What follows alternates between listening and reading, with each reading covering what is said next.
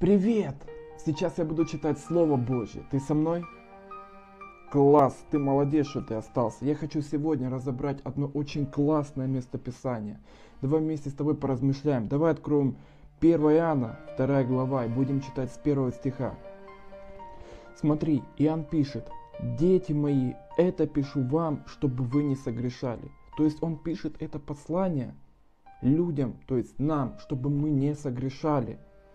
А если бы кто согрешил, то мы имеем ходатая перед Отцом Иисуса Христа, праведника. Ну, написано же, что все согрешили, но мы не роботы. Один совершенный был человек, это Иисус Христос. Все остальные люди согрешили на земле, так уточняет Библия. Но смотрите, мы не можем грешить бесконечно.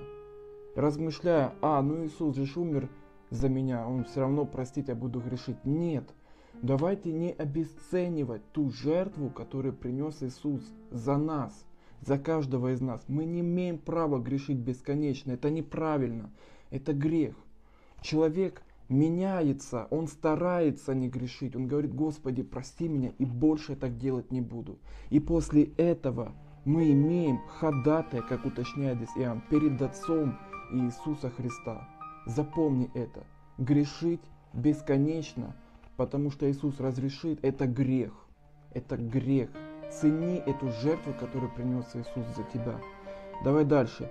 Он есть умилостивление за грехи наши. Умилостивление. Мы люди, и мы часто можем себя обвинять. Ну вот я, ну как, ну я ж недостоин Бога. А еще очень такая популярная фраза.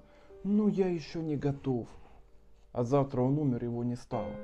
Это популярная фраза от лукавого. Сегодня ты готов потому что Он есть умилостивление за грехи. Он уже принес жертву, все.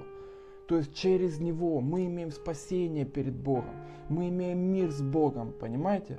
Очень хорошее местописание.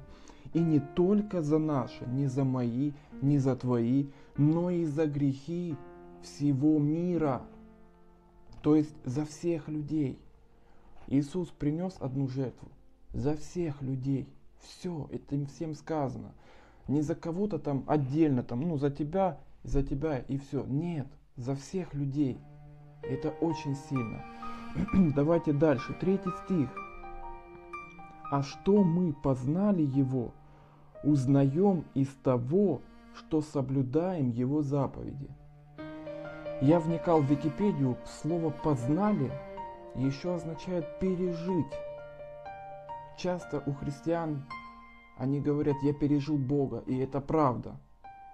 И вот когда действительно ты пережил Бога, ты знаешь, как это, какое это классное состояние, когда ты хочешь угодить Богу. И после этого, что после этого?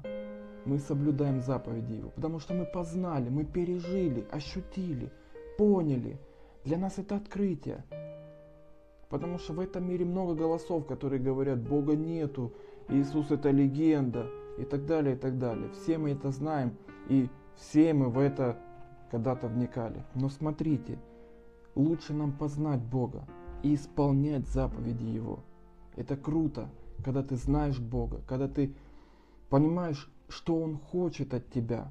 Это самая крутая вообще миссия на земле. И ты делаешь, и ты проявляешь тем самым любовь.